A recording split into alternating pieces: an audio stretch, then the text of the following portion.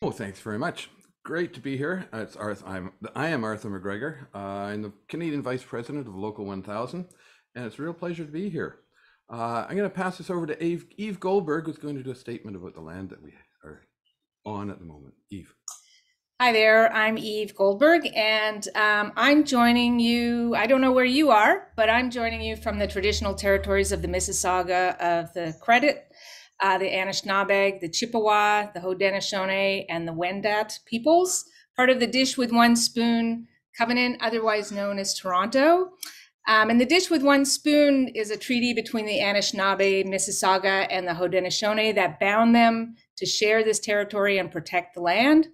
And since it came into effect, subsequent Indigenous nations and people from all over the world, settlers who have come here from all over the world, have been welcomed into this treaty in the spirit of peace, friendship, and respect. So we give thanks for all the people who share this land and for the animals and plants that share it with us. And we hope we can come into balance um, with each other in a way that promotes harmony and right relationships. And I also wanted to acknowledge that tomorrow is the first uh, National Day for Truth and Reconciliation, and we're being asked to engage in some reflection on the deep damages done by the residential school system. So I hope that this is a small step towards righting some historical wrongs that affect us all. So I think I'll leave it there. But if anybody wants to put their uh, the traditional territories they're coming from uh, into the chat, we would welcome that. Okay, thank you very much, Eve. Appreciate it. Uh, now, I got to say, what would a discussion about music be without a song to start with? So, Ken. Uh, Okay, well, in the spirit of what Eve just said, uh, I'm going to suggest that we lay down our sword and shield, that we sort of turn our swords into plowshares, as a as another uh, metaphor says. You know, we we uh, we turn the uh, you know the the cannons into banjos, however that may transpire, and uh, and that kind of thing. So. Uh, I'm sure you all know this song. Gonna lay down my sword and shield down by the riverside, down by the riverside, way down by the riverside. Gonna lay down my sword and shield. Tell me where. Oh, down by the riverside.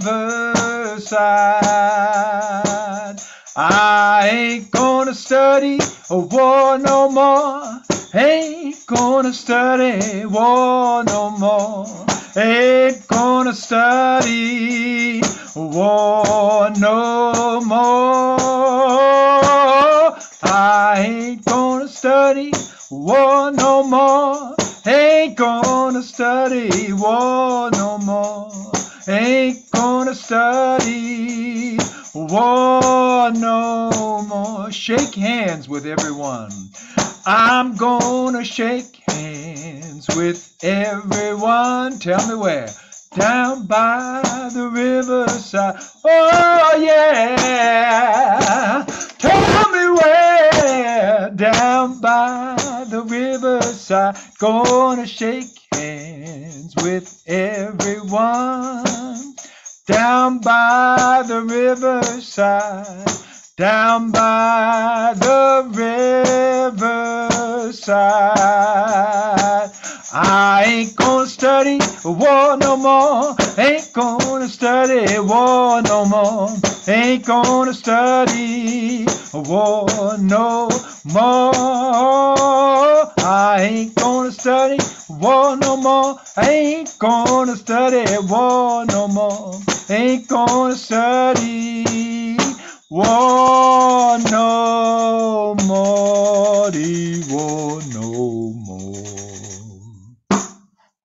And if you're wondering why other people muted themselves uh, at that moment, uh, much as you would have liked to have heard all and everyone singing along, that uh, of course Zoom is not quite caught up to simultaneous uh, broadcast. So So, uh, in the interests of um, synchronicity, we we just people had the Zoom chops together to uh, mute themselves when they weren't singing, or when they were singing, so it wasn't a cacophony. Thanks, Ken. That was great. Ah, sang along. I'd like to thank FMO for hosting this panel and the Canadian Federation of Musicians for their sponsorship. Special thanks to Rosalind Dennett. Uh, Rosalind is a local 1000 member. She is a, an employee of the uh, Canadian, uh, the CFM, and she's a vice president of FMO. And she's a new mother. So thanks, Rosalind. You're a great, great, great. Uh, thanks, Ken. We've come to introduce, we're here to introduce and describe and discuss the idea of asking music venues across North America to commit to pay the musicians they hire a minimum wage for the work they do. Now, this seems like a no brainer to a music local, but as we will describe today, venues mostly played by members of the folk community tend to be small venues, often house concerts, coffee houses, churches, schools, venues that often offer a percentage of the door or a fee that adds to the unsustainable income for a performer. With the collapse of CD sales, the door income is vital to touring musicians and their ability to make a living playing music. Today with us are Eve Goldberg, former president of uh, CFM Local 1000, longtime activist for both labor and indigenous rights, and this year's recipient of Estelle Klein Award. Ken Whiteley, longtime Local 1000 member, one of Canada's folk music treasures, and Leonard Podolak, banjo player of renown and executive director of Home Routes, Canada's brilliant house concert touring program. Each of them will offer a description of their involvement with fair trade music and how it affects their dealings in the world of folk music. But first, I'd like to read a short description of the folk community in the 1960s when Estelle Klein was organizing the Mariposa Folk Festival in, on Toronto Islands. This was written just recently, uh, very timely as well, by Lee Klein, a close friend and co-worker of Estelle. If I may, I worked with I, I, worked and was friends with Estelle Klein in a number of projects over many years, including being assistant artistic director and tech director of the 60s and 70s for the Mariposa Festival. During the 60s, there were issues between local musicians union and the folk musicians coffee houses about rates because folk music being a new form, neither side really understood the other. The union wanted the coffee houses unionized, but a lot of coffee houses couldn't afford the standard rate and there was an issue of union members not being able to perform with non-union members. Estelle spearheaded with the help of Klaas van Graft and successfully helped create a special coffee house rate, which definitely helped the performers and was a fee that coffee houses could afford, and the union got new members. As well, Toronto's Riverboat Coffee House was dark on Monday nights, and came, they came up with the idea of holding a hootenanny with mostly local musicians. She and the local created a hoot, hootenanny rate, the deal was we had to hire three union musicians on contract each night for the grand sum of $15 each. And everybody else was union or not, everybody else, union or not, was allowed to perform. It doesn't seem like a big deal now, but it was huge then. About Mariposa dropping the evening concerts and going to a daytime only multi stage format, all three major festivals, Newport, Philly, and Mariposa, always had a few daytime workshops, but they were set aside for the evening concerts. One year at the Toronto Island, we had major gate crashing security issues, as did most festivals, most music festivals that year. Estelle came up with the radical idea of no massive evening concerts. The festival would end at 8 p.m., and there would be multiple daytime stages with workshops and concerts. As well, all performers, big names and small, would get the same minimal per diem, plus paid all travel expenses and hotel expenses. We all stayed at one hotel, and she thought that the performers would have time to interact privately and collaborate with one another without having to put on a show. It obviously worked, and the collaborations that came out of the, this idea were major. One of them was Aly Bain's transatlantic, transatlantic centers, sessions. Pardon me, can barely read my own writing. Uh, where are we? So Lee's letter goes on to describe Estelle's that quality of uh, that idea of equality and equal pay. So here we are 50 years later discussing the way to help folk musicians get fair income from the shows that, that, that, are played. And there are three Estelle Klein recipients of this panel Ken, Eve, and myself. Leonard, you'll have to move to Ontario, okay? That's the deal. To describe some of the local 1000 history and specifics of fair trade music, here's Eve Goldberg, past president of Local 1000, a wonderful musician, busy and sought after teacher, and this year's recipient of the Estelle Klein Award. Eve. Thanks, Arthur. So, um, in my section of this panel, I, am going to talk just a little bit about what Local 1000 is and what fair trade music is. So, Local 1000 is a local of the American Federation of Musicians, the Musicians Union, which um, exists all across North America. Um, we're a unique local because uh, members come from all over Canada and the United States. And um, normal before Local 1000 existed, if you wanted to become a member of the Musicians Union, you would join the local in your town. So if you lived in Toronto, you would join the Toronto local. If you lived in Winnipeg, you'd join the Winnipeg local, and so on. But um, touring and folk uh, touring folk and acoustic musicians found um, that they were hardly ever playing in their hometown. I mean, most of what we do is play in other places every night, and um, that we had more in common with each other than necessarily with. Um, you know some of the other musicians not that we don't have anything in common but we have some unique issues and so um, the local was formed to serve the needs of those touring acoustic uh, folk acoustic and folk musicians. Um, so, you know, when we're traveling, we have one office that we deal with. Uh, we can um, do all our sort of paperwork through all that office. And more importantly, um, we can work together on issues that are important to us. So that's kind of who Local 1000 is. We have um, several hundred members all across uh, Canada and the US. Um, and um, you know we sort of try to cater to the needs of folk and acoustic musicians um, and fair trade music is a program that local 1000 runs. Um, and it was an idea that originally came from the portland local of the musicians union actually. Um, and the idea uh, of fair trade music is kind of comparable to the idea of fair trade coffee. You know um, i think when fair the idea of fair trade coffee is uh, and maybe other goods that you're used to as a consumer um, you can buy your coffee or whatever other product it is knowing that the people who grew the coffee picked the coffee uh, worked in the fields uh, and all that are being treated fairly. There's some minimum conditions. Um, and so the idea was um, why not apply that to music? Uh, what if venues could be designated as a fair trade music venue, which would indicate that they've committed to some um, minimum standards for the treatment of musicians. And in the case of Local 1000, our program, some minimum wage um, agreements, you know, that are pretty uh, minimal. I'll say minimal is, is a good word for it.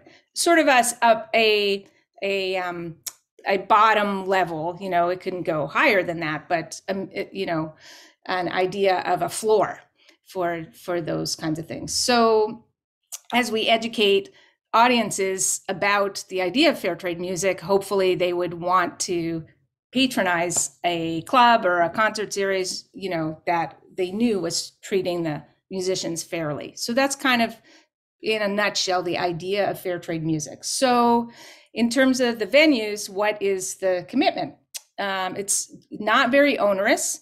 The main thing that the venue agrees to is to pay a minimum guarantee, which is uh, the according to the current wage scales set by AFM Local 1000, and I'll get back to that in a second.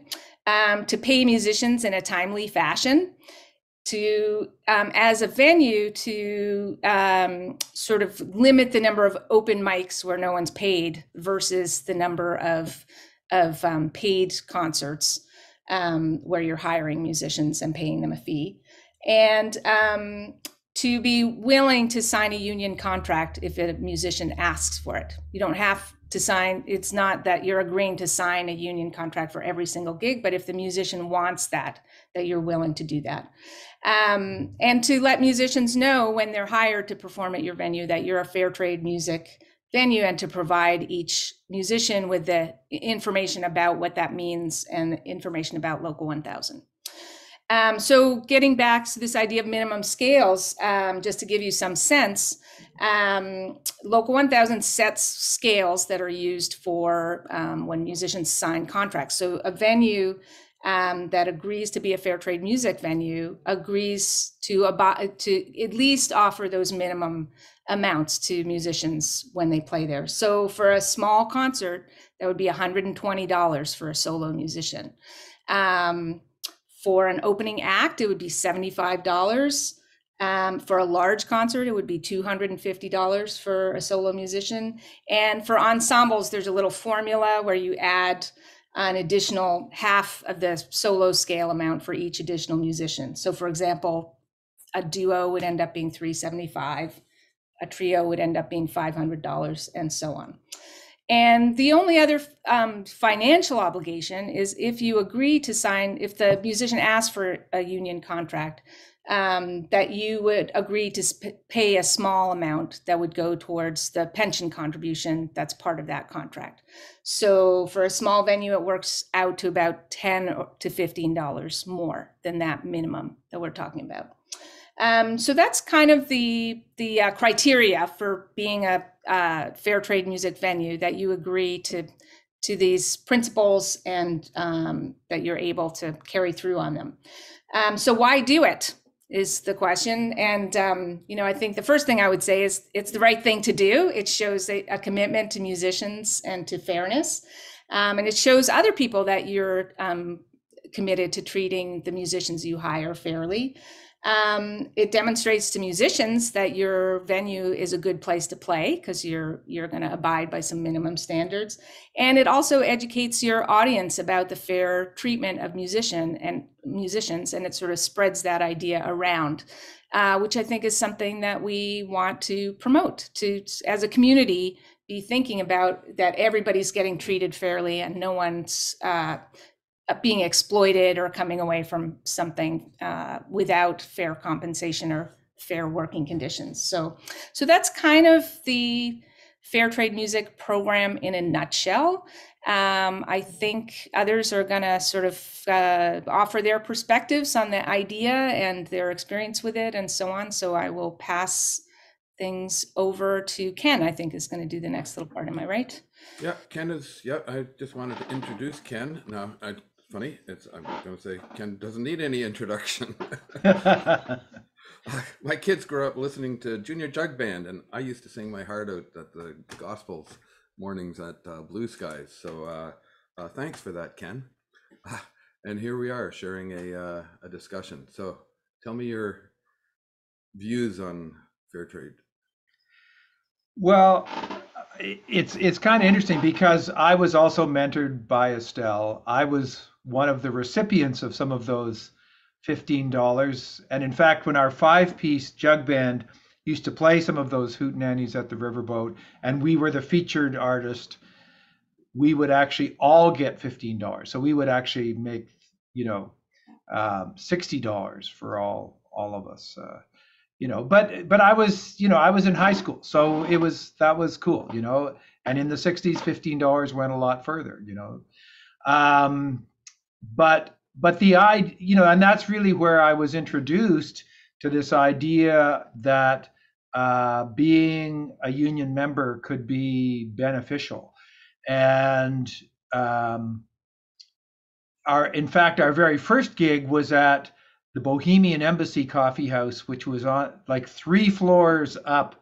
It, it on this little side alley off Wellesley Street uh, that Don Cullen used to run, and we signed a union contract for that gig, and and it was at that coffee house scale, you know. So so uh, you know I can't remember exactly, you know. So thirty, I remember running a coffee house in the in the seventies, and at that point, coffee house scale was thirty dollars. And had there been a fair trade music at that time, I would have been happy to have signed uh, a you know a fair trade agreement because that was sort of the bottom line. If you couldn't, if you couldn't pay the artist thirty bucks, it's or if you're a house concert now and you can't pay the you know, you're not going to get enough people at your house concert to pay them 125 bucks.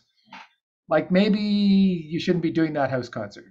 I mean, now there's exceptions to that, and I've done home routes uh, tours, you know, and some had some very memorable occasions where there were, but there were only seven paying people in the in the house that still probably comes to about 150 bucks. I get, I would, I would guess. You know, I, I anyway, whatever. But um, so for me, it's you know, union membership has been a, a lifelong uh, thing, and we quickly learned that okay, yeah, coffee house, you know, the sort of minimum, as, as Eve described it, the floor was great, but it was really great when we got to do a TV show. And then we were paid at, at, a, at a much higher scale. And, and then if they replayed that TV show, we got money again.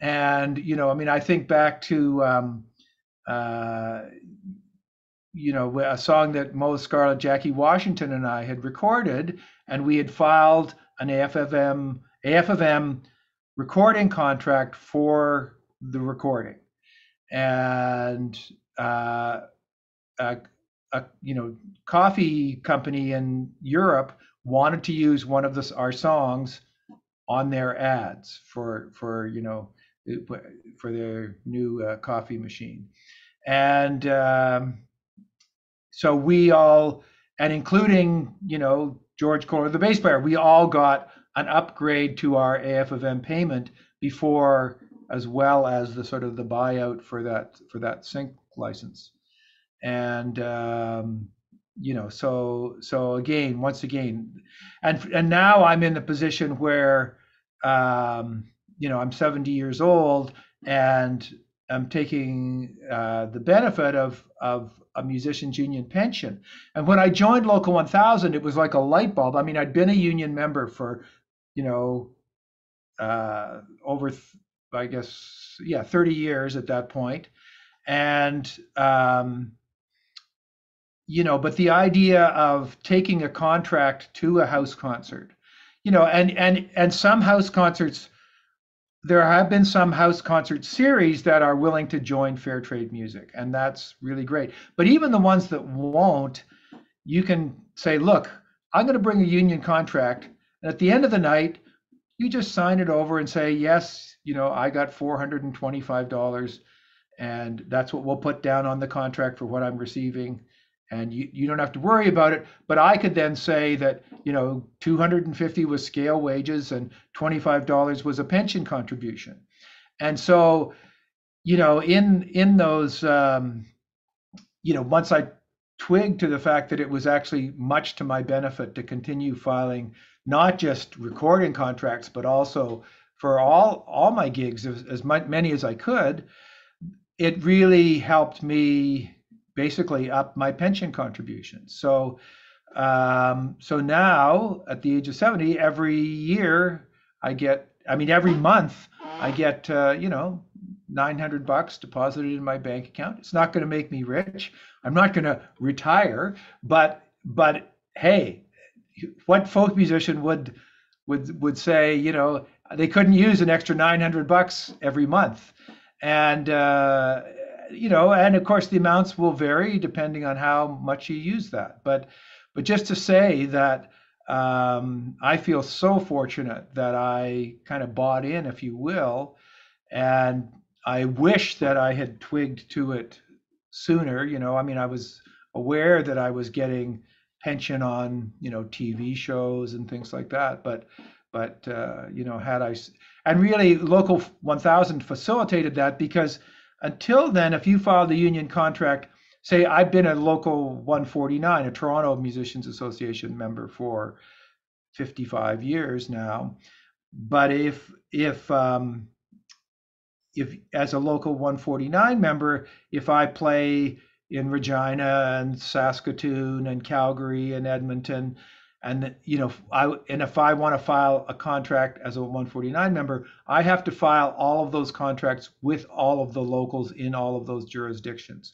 Whereas a one as a 1000 member it's actually part of the whole afm cfm uh, bylaws that you can just file all of those traveling contracts with local 1000 so it makes the paperwork way easier and the whole process easier and the whole understanding of you know because some locals don't like it when you file a contract the day after the show as opposed to you know you're supposed to you know they want you to file it ahead of the show and things like that. So anyway there's a, a lot of those flexibilities that are built into local 1000 have been really uh, a great thing and is, is that enough have i i probably talked too much already so I'll, Oh, you, you never talk too much, Ken. Never, ever. i often talk too much but that's beside the point You know, one of the things uh, back in, in the day, I have there's a poster right, uh, uh, actually right there, of Sneezy Waters at uh, playing at Roosters. I started Roosters Coffee House back in the '70s, and uh, back then you'd hire somebody for three to four nights.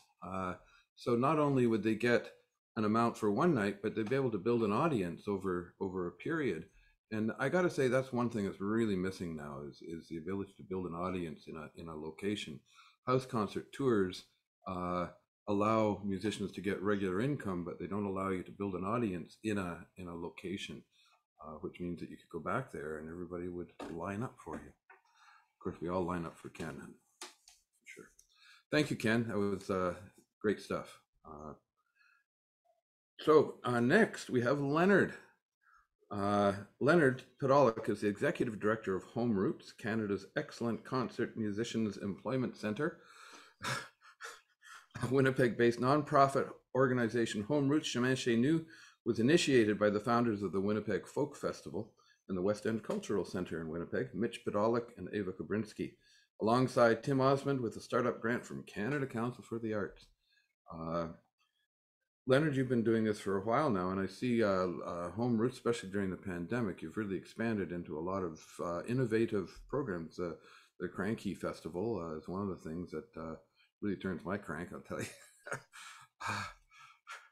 Um, so, yeah, well, it's it's great to be here, and, and thanks so much for for including me in in this panel. Um, yeah, I think uh, with the pandemic, it, it really it, it sort of it drove home that uh, a, few different things. One is how vulnerable um, musicians are. Before I was a, a music executive or folk music administrator, really is what I am. Um, uh, you know, I was on the road for for many years, and and uh, you know, we we musicians get into it, especially folk musicians, because they they love the art and they love the craft and they love who's inspired them, and and when the scene really lifts people up, it's the most beautiful thing that you can possibly imagine. But uh, you balance that with the the reality of fitting that into you know our society, and a pandemic happens, and we see how vulnerable musicians are, uh, and the whole scene in general. And if Home Routes wanted to continue, um, well, just backing up, uh, for many years, for 14 years, uh, what Home Routes did was to um, recruit people out of the woodwork, movers and shakers in r- rural communities, not people who had been hosting house concerts for a very long time. Uh, and who fancied themselves presenters and who were knowledgeable about folk music. It was more about building a new infrastructure in addition to the folk music instru- infrastructure that already existed, and and building a network that would give artists the possibility of of you know having a, a big hub of gigs in a region that could be built around, and and so literally for the first few years, folks were in the office. Um, we're calling up librarians and you know museum curators and anyone from the from you know the community. Who do you know? Who's who's cool? Who likes to make things happen in town? And then we'd give them a call or or they would give them a call. It was before i was a part of the team um, and and they would connect uh, 12 or 13 of these these host volunteer presenters in a region of canada and schedule an artist to play all 13 of these places in a two week period. And while that was happening, the same thing was happening across the country uh, in as many as up to 16 other tours across across Canada. And um, you know, it, it, it had some amazing elements to it. You know, just the community factor and and the idea of connecting small community concerts uh, that artists don't have to, you know, you know, the the load in is bring your instruments to the living room and the the hotel is bring your suitcases to the bedroom. And and you know the oh do we have time to you know there's time to eat dinner all those things. It takes out a lot of stresses of the usual um, touring experience.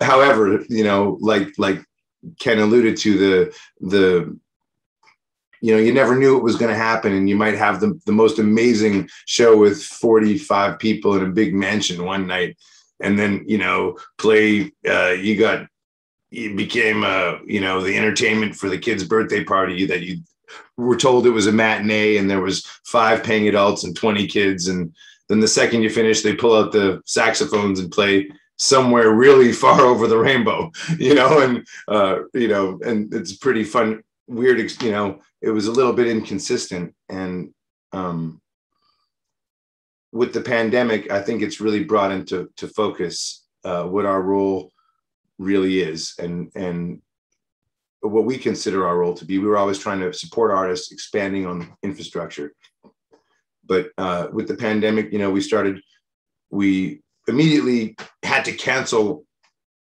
80 artists just like that overnight. But instead of just canceling them we said hey you know what? We have a facebook page. Want to log in? And we scheduled them all to play on on on facebook live. And it was it was it was sort of what we could do as an instant reaction without having to figure it out. But while that was happening, we figured it out and we we built a ticketing system and and and we started creating really cool shows with artists in different places using Zoom. Um, but the point is, is that we did what we had to do to make the best possible situation to still continue to to pay artists.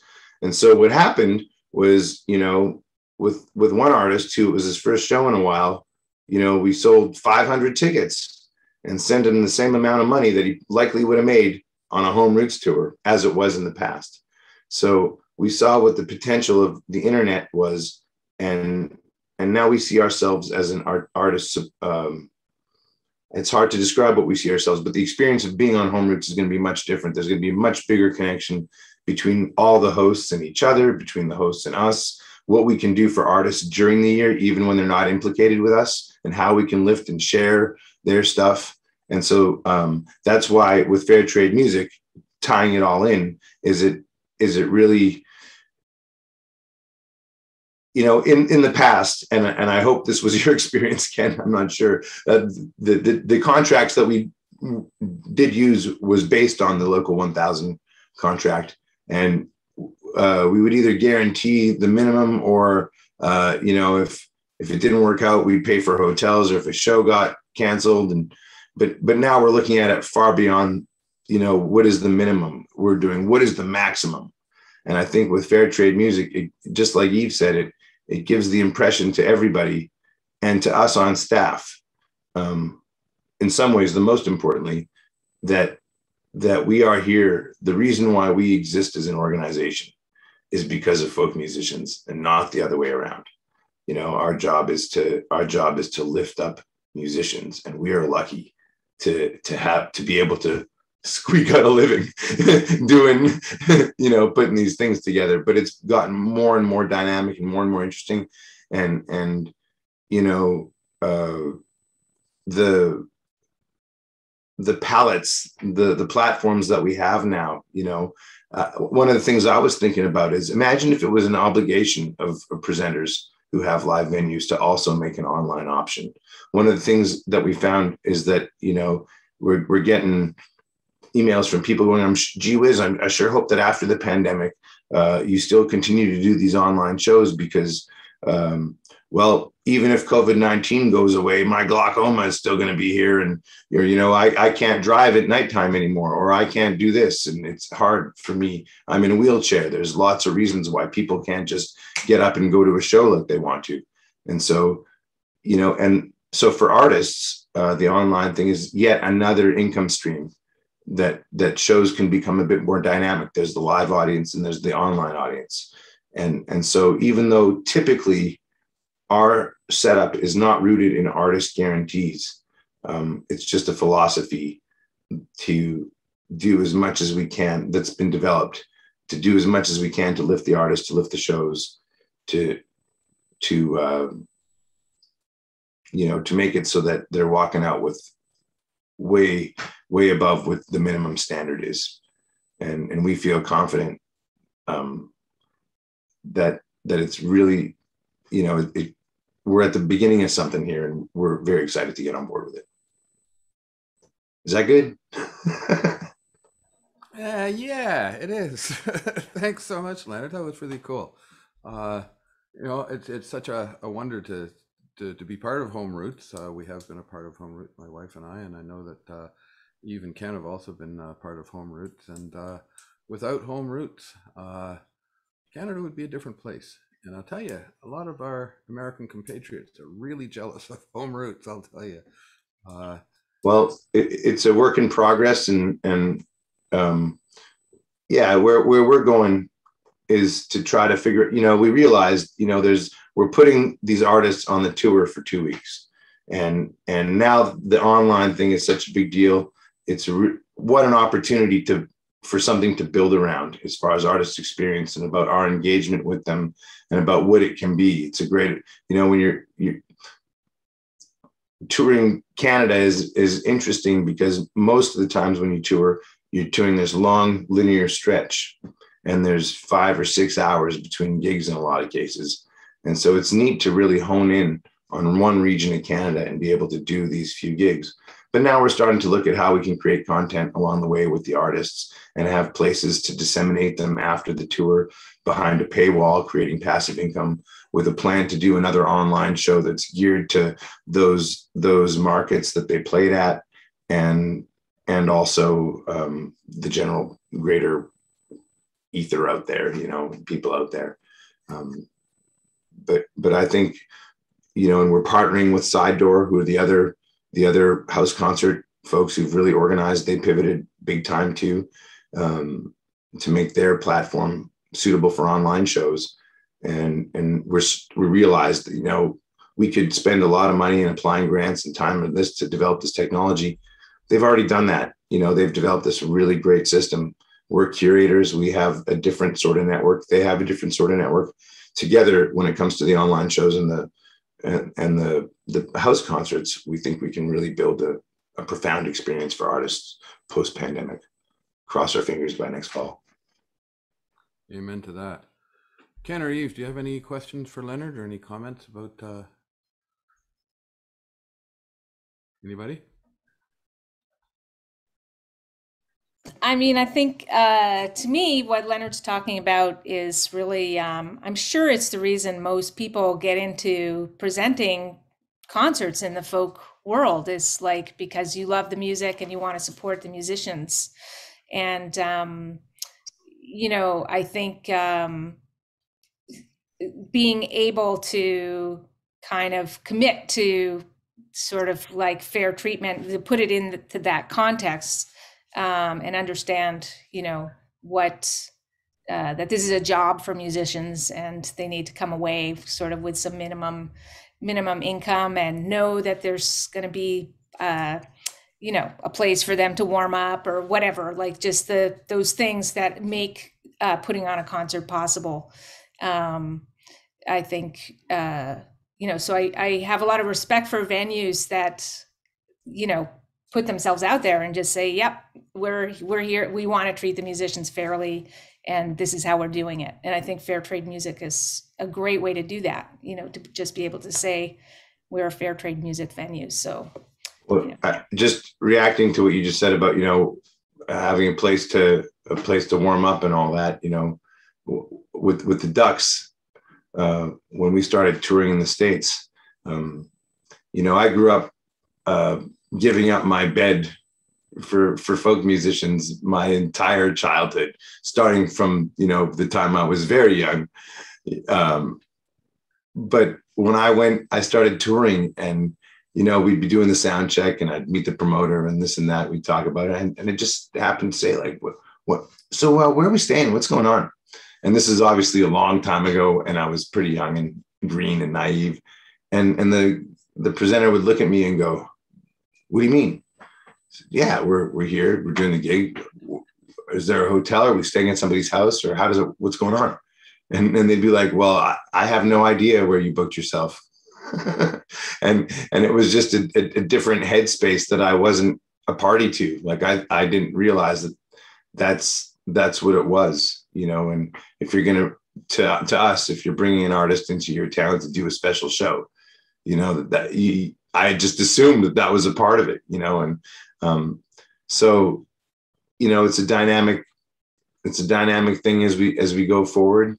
I think you know I think there's there's a volition among presenters and among artists and all the stakeholders actually to to work a little bit more closely together and and collaborate and be less about our own territory and and about how actually if we do work together collaboratively we can make the most successful situations for everybody involved instead of beating each other up and using the same old models yeah and that's a good that story is of course a great illustration of why communication is so important and why you need to ask the questions before you get to Minneapolis or wherever yeah. you are, and uh, you know, what, so what, you. I was supposed know, to bring the PA. there's a whole skill set involved in that, and and like all aspects of this, and and theoretically, as folk musicians, we should be about communicating, and and so it really fair trade music is one way to communicate in a whole package a bunch of principles.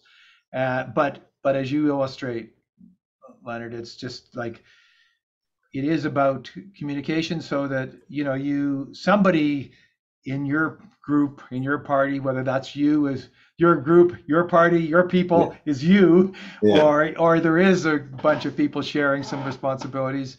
You've you've asked the questions ahead of time. You you know, and you plan accordingly. You you try and deal with this accordingly, and and that's so communication.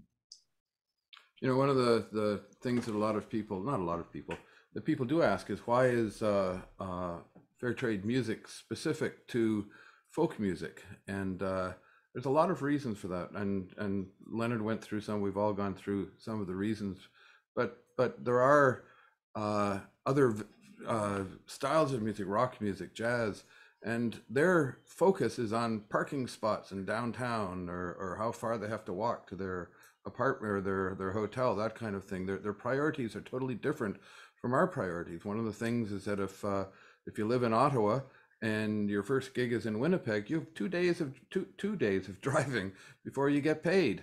Uh, so there's a, a real difference in, in, in that aspect of it. Yeah, and I'll just chime in and say Local 1000 is not the only local of the AFM that has a fair trade music program, and that's I, that's what Arthur's referring to. So there's a program in Seattle, there's one in Portland, uh, I think there's one now in Atlanta, um, and a couple of other locals are sort of developing them. And really, they the idea is for the musicians. It's kind of to bring musicians together who may or may not already be union members, but to bring them together to say what are the issues that are what are the barriers and what are the issues that are facing you? So for instance in seattle they met with these young musicians you know um, teenagers and people in their young 20s who are playing in all these uh, clubs in downtown seattle. And as arthur said all different styles of music. So rock and punk and and metal or whatever. And and they asked them like what are the things what are the problems you have when you go to pay gigs play gigs in these clubs? And it turned out um, that it was things like being able to unload in front of the venue without getting a ticket, um, having a dedicated sound person, um, being doing the payment reconciliation transparently right after, um, and things like that. And and their programs actually aren't concerned with minimum wages uh, at all. There's they're concerned with it, these kinds of working conditions for for these young musicians who are playing these clubs. Um, so Local 1000 is the only fair trade music program in the AFM that includes that bit about minimum standards, and I think that reflects our the way that our music scene works and the concerns of the musicians who are who are playing these concerts. So, um, but as a concept, I think uh, you know, it's sort of about the musicians getting together and talking about with each other what are the minimum things that we need, and uh, and and sort of uh, bringing that to the venues. And in Seattle, they've had huge success with um, signing venues on and and a real um, a lot of now a lot of um, public understanding of this idea of fair trade music and which clubs are adhering to these to the their standards for fair trade music. So. And Paul asked a question, and I, I don't know if, if uh, Leonard wants to ask. Uh, Paul Mills asked, uh, you know, how how does uh, home routes in the home routes context? The audience is too small to meet the minimum pay. Who picks who picks up the difference? Well, that's Uh, never going to be the situation again. Well, I know, I know. I'm, I'm just, just, but I know, I know, you know, Ava said to me, she said, you know, kind of what I asked about minimum scales, you know, for one of my early home routes tours. And she said, I can't guarantee that every venue is going to meet scale, but I can guarantee that over the 13 shows, you will meet gu- guaranteed scale for a- averaging it out. of. yeah as a as a minimum you know and obviously you can probably expect to do a lot better than that but but but yes i can guarantee that so i can't guarantee on a night by night basis but anyway that's how that was dealt with at that time but leonard you have the latest Yeah. here I, I would um one of the things that I think is very important about why I think, you know, in my right mind would be happy to sign on to fair trade music. It's not just about the guarantee. It's about um, maybe spending more time uh, as an organization. Like what's going to happen right now is we're re- we're going to rebuild the tours you know we're gonna we're gonna redesign the tours and in that process you know i think if if over the the 13 gigs um, we didn't meet that average um, it would be incumbent upon the organization to to to top it up and not the original not the house concert hosts per se. However that said i think you know one of one of the you know a lot of us don't appreciate our worth. You know what i mean? Artists and and arts administrators. And sometimes we sort of you know you know maybe it's because we were always you know counting on uh you know we're always asking for money we're always asking for grants this and that i don't know what, whatever. Um but sometimes i think we we tend to undervalue ourselves. And and one of the the things that i think might have existed in the past was that we thought that the hosts were doing us a favor a little bit. And and i think uh, the hosts definitely contribute a massive part of the experience of what it is of the home routes experience for artists and for our existence as an organization you know what i mean without the hosts without the artists we're not an organization you know while at the same time, I don't think that they're doing us a favor. I, I think they're doing it because they want to do it. And I think they want to do it for a few really great reasons. One is they want to move and shake in their community. They want to uh, invite people to their in their world. They want to host. They want to do all those things. And as time has gone on, it's become more important. They want to meet the artists. They want to hang out with artists. Artists are people of the world. They travel the world and they have all these stories and they live a different lifestyle than the people in Lacombe, Alberta. You, you know, and and and they want to, you know, there's a there's an experience there. So I think it's also incumbent upon us as an organization to to say to the hosts, which is what's going to be happening, you know, on a on a profound level, which is that artists are on tour. Artists go on tour to make money. They make money so that they can make a living, and just like anybody else. So these shows, you know, it's not about just you and your friends. We're going to be asking them. We're going to be negotiating a certain amount of tickets for the general public that will be available to all the to all the shows. If if they have, if they're really successful, we're going to get we're going to ask them to go into a bigger venue and then we're going to come up with a amount of money that we're willing to spend on rent and venue expenses and we're going to partner with more more other arts presenting organizations. And when we can partner up and make an artist uh, go on on both networks you know the manitoba arts network and home routes well then there's 25 gigs in manitoba. And if there's two two gigs in the same town well maybe the home routes host can host the after party and get free tickets to the their gig. You know, like there's there we have to be creative in how we how we do it. But but as far as you know, who's going to top up the the minimum? I think it's it's it's going to be us, but it's also going to be asking the hosts to really take seriously the fact that artists are making a living and it's not just for them and their friends. Yeah, and uh, I'd like to chime in here because when you think about it, as for a solo artist, that hundred and twenty dollars, you know, if it, let's say you're a house concert host who's not associated with Home Routes, you're just doing it yourself and and you know putting on a concert, um, you know, and hundred and twenty dollars would be the minimum. Well, if people are paying twenty bucks for a ticket, that's six people you know, um, if you, people are paying 15 bucks for a ticket, that's eight people. So, you know, it's not a, it's not a, a outrageous um, request or an outrageous minimum. And I think if you do love the music and if you do care about the musicians and you want to help support the musicians, you should be willing to, to, to, you know, to be able to meet that minimum. And and i think for an independent house concert host you know let's say you only get five people paying 20 bucks and you're 20 bucks short. I i do think that in that case yeah i in my opinion the house concert host should fork out that 20 bucks in that situation um, because i feel like as a host who offered to put on a concert you know um, they should be willing to take on that minimum level of responsibility to bring in the audience. So, um, and that's not to yeah. be negative about it. It's you know we all want to have a good time and we all want to have a good experience. It's it's but to be realistic about what what you're commit what you're doing and what what is going to be the experience for the musician. It, it goes back to the fact that as you know both of you have said today you know that that we are professional artists that this is what we do for a living. And you know there's you know like if your plumber comes you're you're in for you know 80 bucks for him just showing up you know and and then if he does work it's even more you know and so we're not really it's not a big ask. No. And yeah one of the just to, to give an idea uh, there's uh we have you know six or seven pages of of information on fair trade music uh uh, and one of them is just uh, kind of frequently asked questions.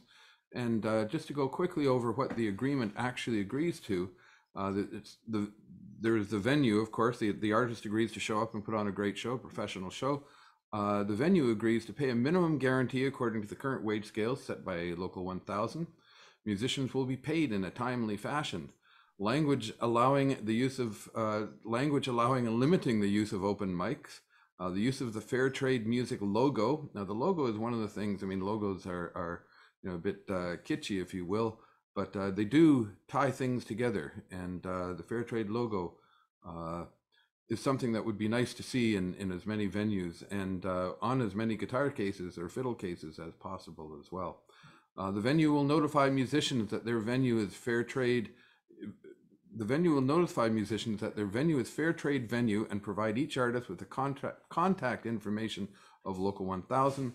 The venue will sign an LS1 for US artists or an LPCC for Canadian artists contract if the artist so desires.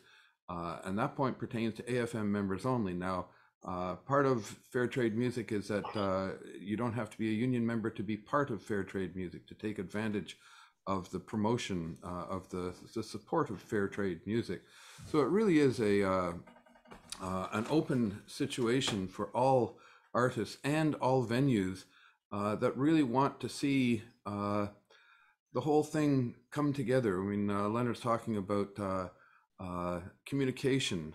Ken and Eve are also talking about communication of how get one of the ways to to get communication is to have a common communication thing. Fair trade music can can be that. Excuse my great discussion points here. Uh, fair trade music could do that. Uh, so, oh, there's uh, there's three. Any other questions on the chat? Uh, well, and there's also no limit to which direction this could go. Like this is the angle that it's taking right now, right? But I'm I'm thinking about about you know how how can it become easier uh, for for Canadian musicians to get into the United States, just as an example? you know, and and and and and how fair trade music can be a uniting force to to actually make that happen. Anyway. Absolutely, absolutely. So there's Yeah, and of course that the the problem there is that you know even with all of the unions and you know the the ACTRA and all the different um, performing unions working together, it's very hard to move the U.S. government, which is what what we're dealing with. That's that's putting up the roadblocks in terms of costs, processing times, and so on. And but having said that, at least as a you know as a with AFFM agreements, you are in a better position to be able to get uh, a work visa to play in the states.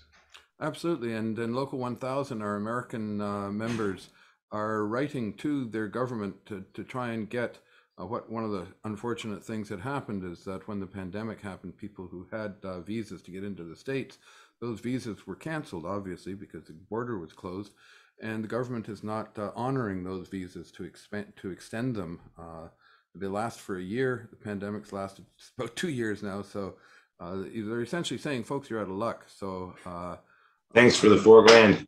yeah, really, exactly. So our American uh, members are writing to their contact people or their government uh, to see if something can happen about this.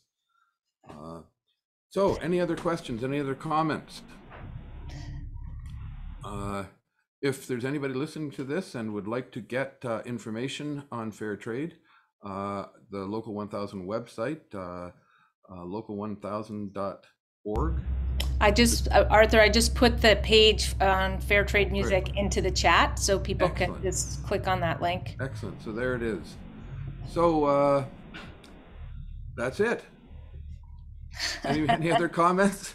This has been great. This is this is exactly the, the thing that I wanted to happen here. And thank you so much, uh, the three of you, for for getting involved in this. Uh, I honestly believe that fair trade music is is something that will catch on. And uh, uh, as soon as I get the sticker, it'll go on my guitar case. That's for sure. Yeah. And thanks so much to uh, all the folks at, at FMO for putting on this conference Yeah.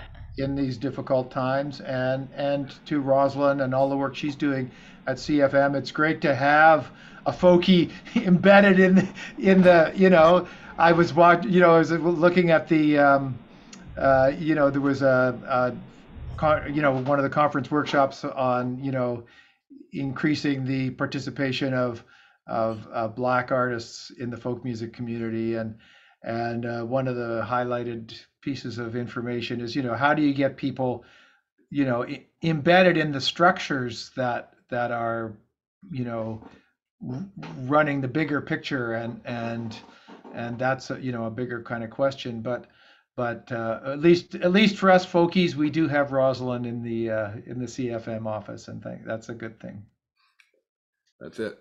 Thanks very much, folks. Thank you all, folks. Thank you, Arthur, for wrangling us. Been a pleasure. Take care. Cheers, y'all. Take Thanks. care, everybody. Well, I'm sending thanks to you.